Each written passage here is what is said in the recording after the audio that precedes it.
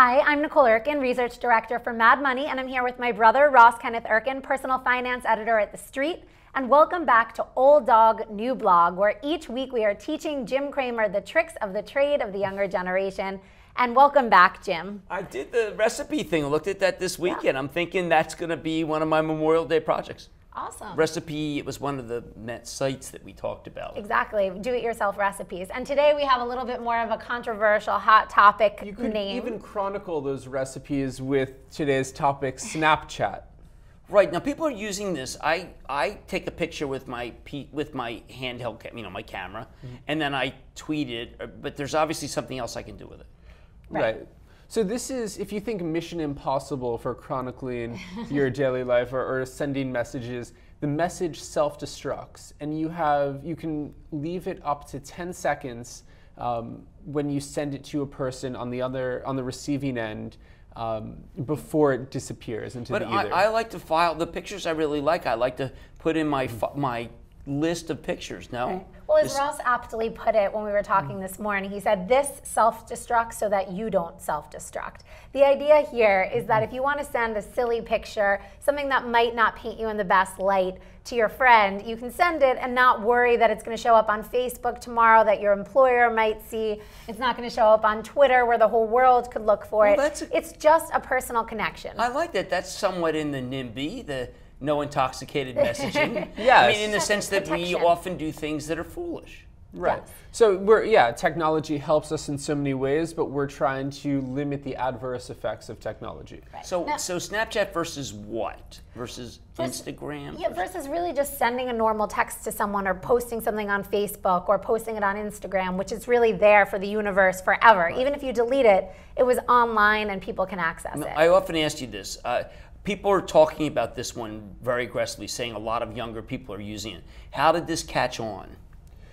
I think just because of the novelty of it, people are able to make a goofy face or do worse. Um, mm-hmm.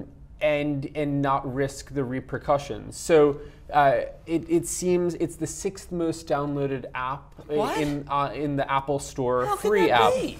No, it's, it's huge. it's important because Snapchat did get a little bit of a bad name for a while as saying, well, it was the sexting app. It was the app that people used when they wanted to send an illicit type of photo. And I think that, that notoriety want. did increase its its allure. Right, but I do think that it spans beyond that. There are a lot of kids in high school that you know you send a goofy picture of your face. You just don't you know a picture of you with some beer and you're underage. You just don't want it to be on Facebook. There is a wider usage for it than just sex, sexting. But I would say that probably that is one of the ways but that it's used. This is another site with the underbelly of we do silly things on impulse and we have to protect ourselves. Right. Mm-hmm. We were Snapchatting, and you actually have to hold down when you're receiving the picture for the 10 seconds. So, you know, you can't Take copy it, you can't transfer it to someone else. You actually can't look at it and then take another picture of it. You have to be holding well, down. How do I know that I've received a Snapchat?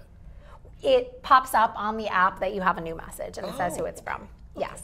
And it's very targeted. And we should say, so Nicole, we had brunch as a family this weekend with her parents, and Nicole co-opted the brunch. so I, I sent her a little Snapchat about my my opinion of, of her conversation dominance. So I had a little hashtag, um, uh, a frowning face. Well, um, okay, let me ask you about that because I see people will tweet me at Jim Cramer and they'll have a hashtag for, for literally everything.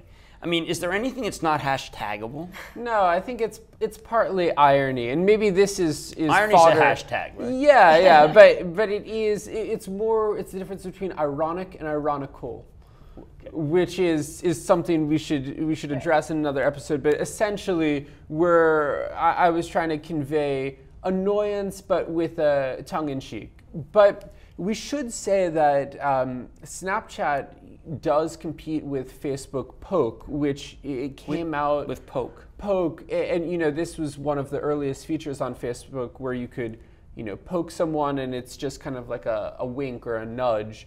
But uh, Facebook has a time self-destructing message, uh, but it, it's become. Uh, it didn't even, I think, uh, breach the top 10, uh, top 100 huh. in, in, terms of downloaded apps. Well, if I were a forensic uh, policeman, would I be able to find that Snapchat? We don't know that, right? I mean, because they always are able to go into your hard drive. That, of course, this is not a hard drive situation. Right.